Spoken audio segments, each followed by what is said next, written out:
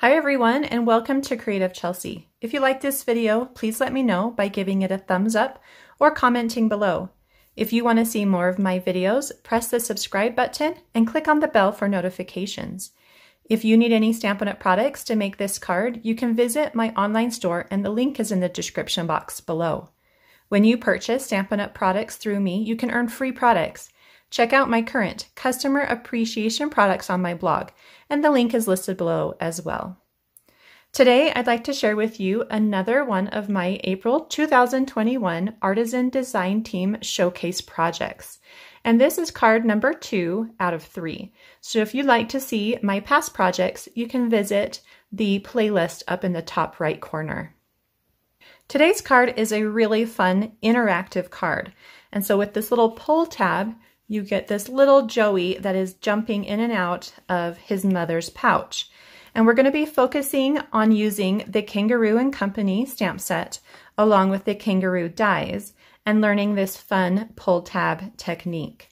So let's go ahead and get started. One of the first steps we need to do to create this card is create this fun blended background using Pool Party and then Pear Pizzazz ink. And I'm going to be doing them with the new blending brushes from Stampin' Up. Now I do have a one blending brush for each color. And so you can see here that this blue is darker than my pool party, but I'm not too worried about it as after I use it, that color doesn't really rub off. So I'm gonna start by adding some pool party in a circular motion to my blending brush. And then I start off my paper and then blend it into my cardstock just like this. And I just work that color back and forth until I get a nice dark color that I'm looking for. And you can always go back in to your ink pad and pick up more color. Just remember to start off and then blend back in. Now I want to go about halfway into my cardstock. So that I get a nice blended color between those two colors, the Pool Party and the Pear Pizzazz. Okay, so now I'm going to work on the Pear Pizzazz side, but I don't want to get any fingerprints onto my Pool Party. So I'm going to use a scratch piece of paper to place underneath my fingers. Now I've got my green blending brush. I'm going to pick up the Pear Pizzazz ink with that and then blend it right onto the cardstock, just like I did with Pool Party. Now I do want to bring it down in, or up into that Pool Party color, so I get a nice blend between those two colors. Once I have blended the background and I have it as I want it, I'm going to add a little bit of grass down here at the bottom. And this stamp does come from the Kangaroo and Company stamp set. And it's just down here at the bottom, this cute little grass image. And we're gonna stamp it in Pear Pizzazz and just kind of randomly all over that bottom of our cardstock. And this cardstock is three inches by four inches. And I am gonna kind of focus on the bottom here. And then just kind of do a couple above it. So you're gonna get something that looks like that. So the next thing we're going to do is stamp and color the images we're gonna use on the front. And I started with my flower bouquets and I have stamped them in Memento black ink. So the Stampin' Up! colors that I used to color in these flowers are the Old Olive, Melon Mambo, Petal Pink, and Calypso Coral and just use the darks and the lights of both of those to give it some different colors. So the large kangaroo is stamped in the early espresso and then colored with the bronze and ivory Stampin' Up! blend markers. And then the small one is stamped in early espresso as well and then colored in with the light crumb cake and the ivory blend. And we're gonna go ahead and do that small one um, with one another so that you can see how to create this stop at the bottom. And that's important in the, creating that pull tab so that your Joey doesn't jump all the way out of the pouch. To begin, I have my half kangaroo and I'm gonna ink it up in early espresso. And then I'm gonna, I've got a piece of cardstock here that is one and a half inch square. And I'm going to stamp it right in the center. And that's gonna give me about a half inch or a fourth of an inch between those two at the bottom of this joey. And I'm gonna use that to create my stop for my pull tab. So next we're going to color it. And like I said, we start with the light crumb cake and then we use the ivory for the inside. So I've got the ivory here and I'm gonna start with that. One important thing is when you're coloring with the uh, water-based inks, you wanna try to keep as far away from that ink line as possible or you're gonna get some bleeding. So this is the light crumb cake and I'm just gonna go in and just use my fine tip so I don't get a lot of ink color in there to ruin my ink.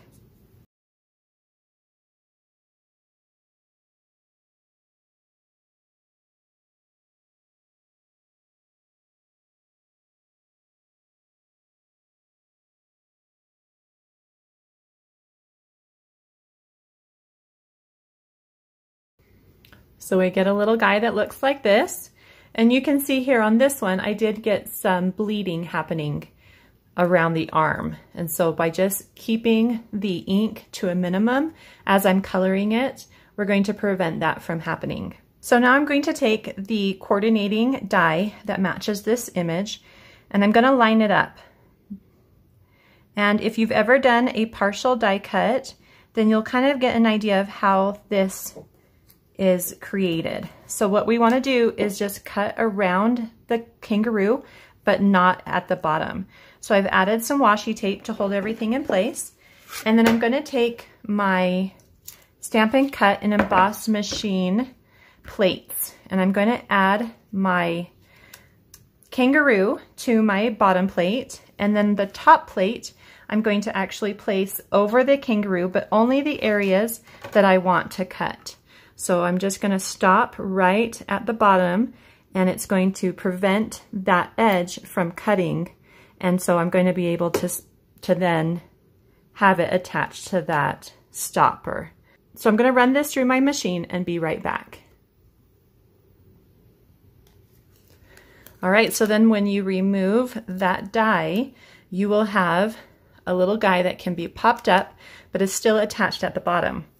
So you're going to take a pair of scissors and right where that die meets the cardstock, you're going to cut a nice straight line to remove the top but keep the bottom. And then we'll do the same to the other side here.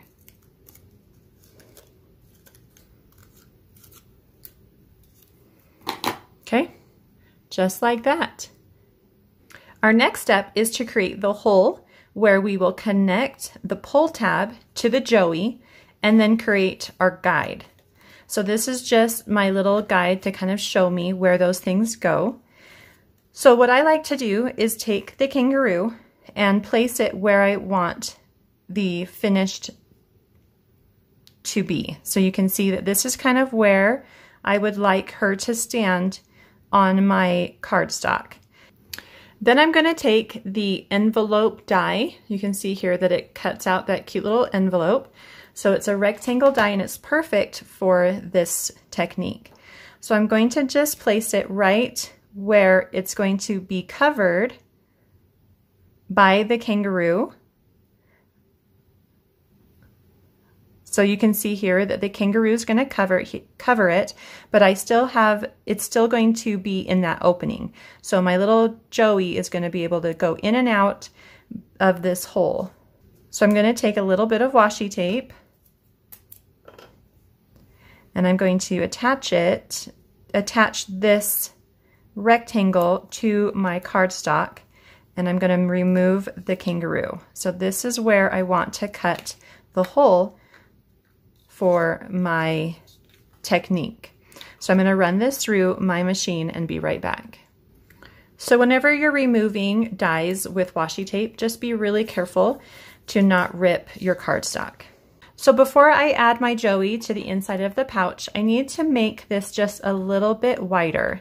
So whenever you, when you use the coordinating die to cut out this kangaroo, um, it creates this slit. And I just need to, on this one side, make that slit a little bigger and a little bit more on this side as well. Just go right up to the arm. And that's just gonna give us a little more movement in the kangaroo because he's a little wider here at the top. So now I'm gonna take these flaps and just fold them in. And then I can slide it into the pouch. And then when those flaps open, you'll see that the, they create that stopper here, okay? Now it looks like it's a little bit, it's gonna show a little bit more than I originally wanted. So I'm just gonna go in there with my um, crumb cake marker and add a little more color so that I don't get that white cardstock showing. So to do that, I just fold up those little ends again and color it in with that crumb cake. So that was the light crumb cake.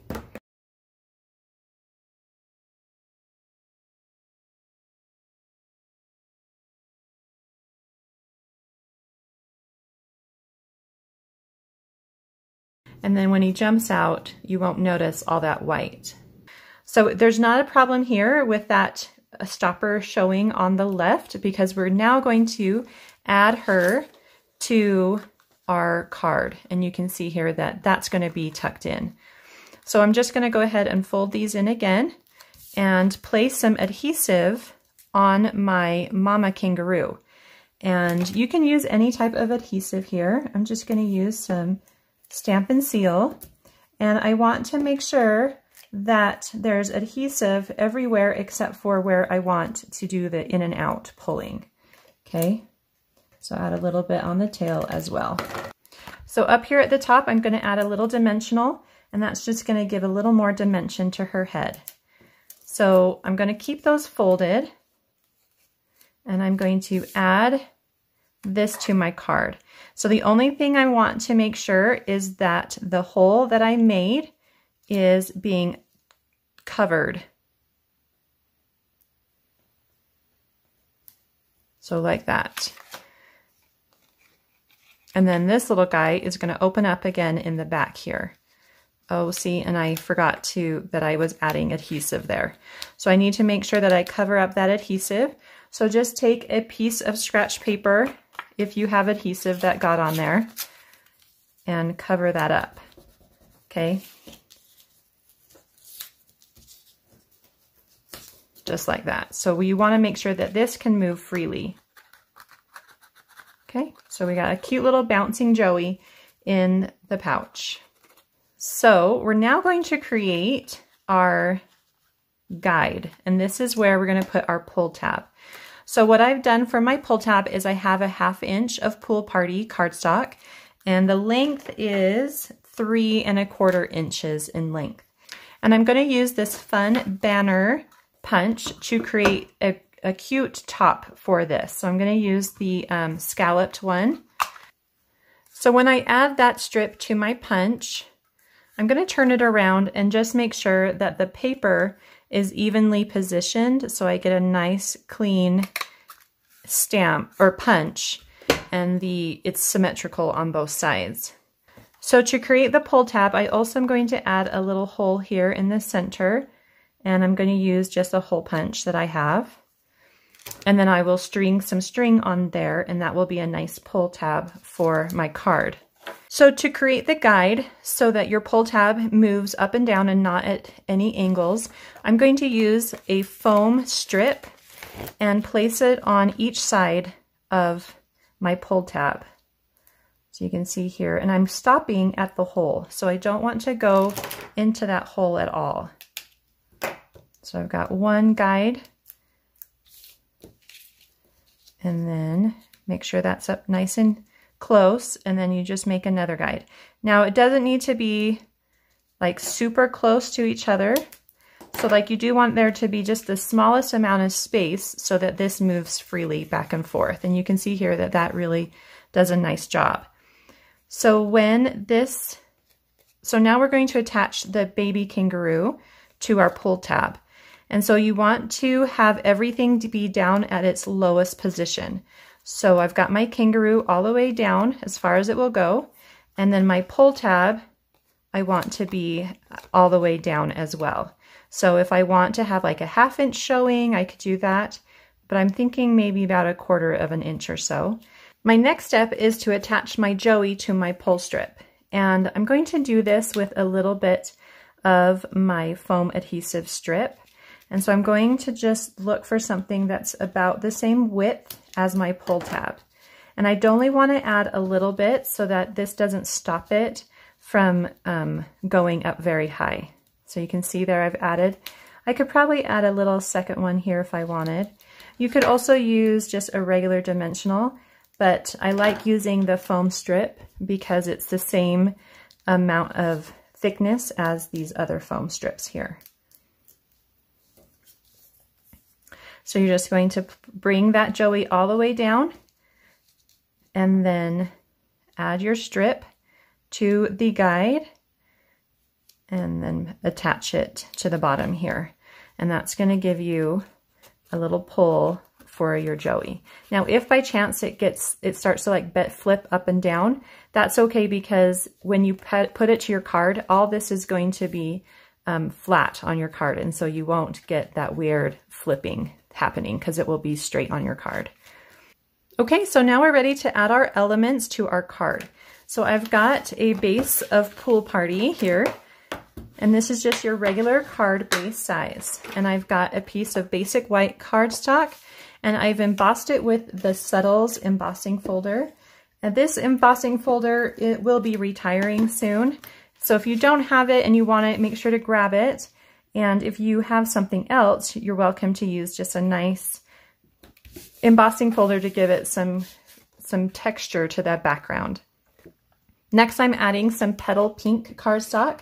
This piece is three and a half inches by four and three fourths inches. And I have embossed it with the Stitched with Whimsy dies. And it was just this second to largest size here fits nicely inside that size of cardstock. And so this just goes in the center, gives a nice border around that petal pink. And now we're ready to add this piece. And I do need to add a little more depth to the outside edge. And so to do that, I'm just gonna run some more of these foam strips along the bottom and edge to make sure that I have enough support all the way around. And you want to make sure that you also remove the paper on your guides. And then make sure that that guide is in there nicely. And then this gets centered inside that stitched whimsy outline. Just like that. And now you can see that that piece will move easily up and down.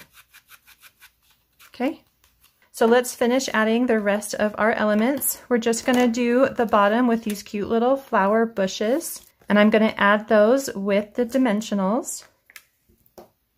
And you can use large dimensionals or minis. And then just kind of place those around the bottom.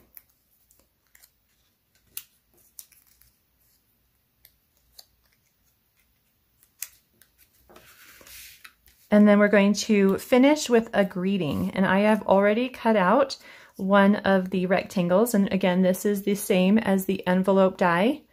And I'm just gonna stamp popping by to say hi inside that little rectangle with some Memento black ink. Just hover it until it's in the center and then stamp. And then I'm gonna add that with some dimensionals as well, just to this open space right above the tail. And then the last thing I'm going to add is some white baker's twine. And I've just cut a piece that's 10 inches. I'm going to bring that all the way up and slide in this little piece and then tie a bow. So just find the center, tie a knot, and a little bow.